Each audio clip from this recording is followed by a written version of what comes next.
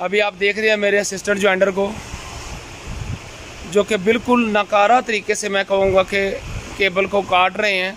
हालाँकि इससे पहले उन्होंने वीडियो में देखा है मेरी ये एक बात है कि जो चीज़ राइट है उसको मैं राइट कहूँगा जो गलत है उसको मैं गलत कहूँगा।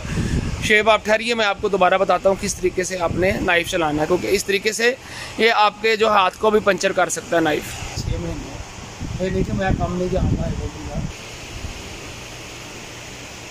तो सीखते हुए और सिखाते हुए आपको अभी ये व्लॉग मिलेंगे। ठीक है जी, सीखते हुए और सिखाते हुए और कोशिश करेंगे कि मैं अपने स्टूडेंट को एक अच्छे उस्ताद की हैसियत से जो है ना वो सिखाऊं और आगे सीखना इन पे डिपेंड करता है। क्योंकि मैं कहता हूँ कि अगर आपको घोल के भी पिलाया जाए, लेकिन आप में वो काबिलियत हो कि आप घोल के पी सको।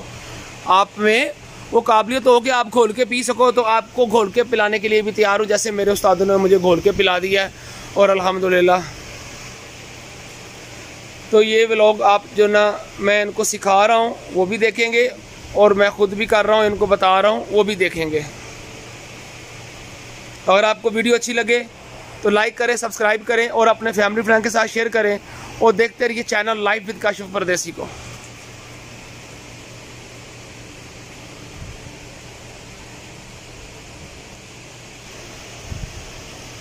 अभी आप स्क्रू ड्राइवर से उठाओ, क्योंकि अभी आपको इतना तजर्बा नहीं होना, क्योंकि मैंने नाइफ से उठा लिया था एक्सपीरियंस की बेस पे।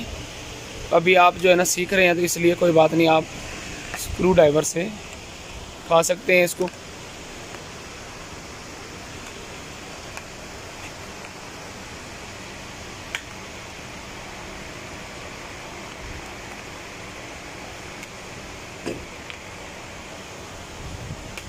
तो ऑटो शीट को उतारते हुए नॉट बैड मतलब ज़्यादा अच्छा भी नहीं हुआ और ज़्यादा बुरा भी नहीं हुआ, लेकिन माशाल्लाह फ़र्स्ट टाइम काटी है। मैं कहूँगा नॉट बैड अच्छी कोशिश की है। तो अभी हम लोग जो है ना आर्मड को काटेंगे। तो अभी मेरा असिस्टेंट ज्वाइंडर आर्मड को काटते हुए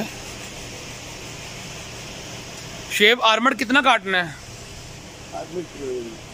ऊँची ऊपर ज़ोर से जरा आवाज़ ज़ोर से जिस तरह मैं बोल रहा हूँ। कितना काटना है आर्मड? कितने हद तक कटना चाहिए? तो वन मिली काटना। सॉरी दोबारा बताइए। अगर टू मिली हो तो वन मिली काटना। और ऊँची बोलिए कितना काटना है? टू मिली हो तो वन मिली काटना है। ओके वेरी गुड और हाँ ठीक हो गया वेरी गुड वेरी गुड और एक हाथ यूज़ करना है दो हाथ नहीं। और आरी बिल्कुल नरम हाथ से हल्का सा ज़ोर लगाते हुए पूरे कॉन्फिडेंस के साथ जो ना चलानी है।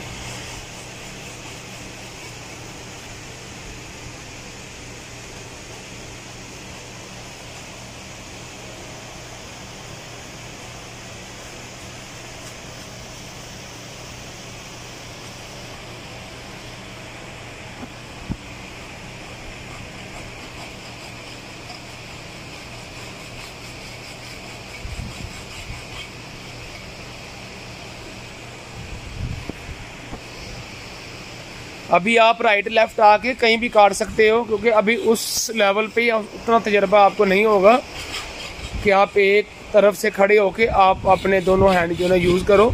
लेकिन आहिस्ता आहिस्ता इंशाल्लाह हो जाएगा। इसलिए आप जिस तरह आपको आसानी है, आप उस तरीके से करो। लेकिन एक्सो को चलाते हुए आपने एक हाथ यूज़ करना है वन हैंड बाकी आप राइट में हो लेफ़्ट में हो, कोई बात नहीं नो प्रॉब्लम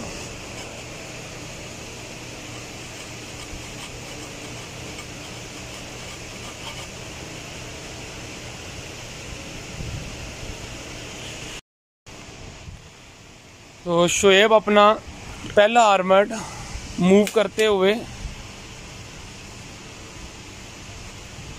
अपना पहले आर्मड को मूव करते हुए उन्होंने शेब यहाँ से पकड़ छोड़ो, यहाँ से पकड़ी, यहाँ। और ये, बस बस। बाकी ये कोशिश कर रही है कि ये ये इस तरह नहीं आए। बिल्कुल ये यहाँ से कटना चाहिए, ठीक है? ये बिल्कुल, ये जो पीस आपका छूट गया है ना, ये वाला, ये ये बिल्कुल यहाँ से ये आना चाहिए। ये नेक्स्ट टाइम ये कोशिश करनी है आपने। आपका आर्मड ये देख रहे हैं शेप में काटा है। तो माशाल्लाह better than nothing first time है। तो मैं कहता हूँ माशाल्लाह फिफ्टी परसेंट से अप जो है सिक्सटी परसेंट तक अच्छा काटा है। शेप हाँ अभी गलती कहाँ से हुई है? यानी थोड़ी सी, ये आप देख रहे हैं कि कटने के बाद में ये यहाँ पे ये ये चीज़ रह गई है। क्यों? ये इस यहाँ, इसका जो लास्ट पॉइंट है आर्मड का, इस राउंड से ये कटना चाहिए था। ये इतना पीस अभी रह गया है, ये वाला। इसको कैसे कवर करेंगे या इसको कैसे काटेंगे या क्या करेंगे, अभी मैं बताता हूँ। तो आर्मड सबसे पहले आर्मस आर्मड की कटिंग के लिए कि आपका आर्मड बिल्कुल जो है ना, वो सीधा कटे आपका आर्मड पूरा। आप इस तरह लो कि थोड़ा दूर से होके मैं भी नज़र आऊँगा। आर्मड सीधा कटने के लिए सबसे आप पहले आपका जो आउट ऑफ़ जैकेट है आउट ऑफ़ जैकेट आपकी जो आपका आप राउंड लगाते हो, वो राउंड आपका बिल्कुल एकदम सीधा और राउंड में आना चाहिए। अगर आपका वो राउंड सीधा होगा और बिल्कुल राउंड में आएगा तो वो आपके लिए बड़ा हेल्पफुल होगा आर्मड की कटिंग करने के लिए। वो आपके लिए बड़ा हेल्पफुल होगा आर्मड की कटिंग करने के लिए। तो आउट ऑफ़ जैकेट पे जो आपने मार्किंग करनी है नाइफ से राउंड की सूरत में वो आपने कोशिश करनी है कि हंड्रेड परसेंट नहीं लेकिन नाइन्टी नाइन परसेंट वो हो जाए। और बाकी आगे आइए। आप देख रहे हैं कि ये जो चीज़ यहाँ पे ये रह गई है इसको किस तरीके से अभी ख़त्म करना है? अगर आप इसको काटने के चक्कर में पड़ेंगे कि मैं यहाँ से दोबारा फिर आरी के साथ काट दूँ तो ये बहुत बड़ा एक आ, मतलब समझ लिए कि ये वो क्या है ना बर सगीर की जंग के बराबर हो जाएगा। हम इसको जरा शॉर्ट करने के लिए यहाँ से हल्का सा इसको हम पुश करेंगे। ठीक है, पुश करने के बाद आउट ऑफ़ जैकेट को थोड़ा दबाएँगे ताकि वो अपनी असल शक्ल में बैठ जाए और हमें कट लगाने के लिए, नए कट के लिए, नीचे वाले आर्मड के लिए हमें ये जगह जो है ना वो प्रोफेशन के लिए मिल गई है। ठीक है? ये जगह हमें प्रिपरेशन के लिए यहाँ से मिल गई है और अभी ये इन ये नीचे वाला आर्मड कटेगा। लेकिन पहले आर्मड से एहतियात करनी है क्योंकि जो है ना, उसके नीचे दूसरी लेयर होती है, लेकिन दूसरा आर्मड अभी आपने 100 परसेंट अच्छे तरीके से और बगैर इनर शीट डैमेज किए आपने दूसरा आर्मड उतारना है। और आपको वीडियो अच्छी लगे लाइक करें सब्सक्राइब करें और अपने फैमिली फ्रेंड के साथ शेयर करें और देखते हैं चैनल लाइव काशो परदेसी को। और कुछ बनने के लिए, कुछ जानने के लिए, कुछ सीखने के लिए मेरे चैनल को सब्सक्राइब करें।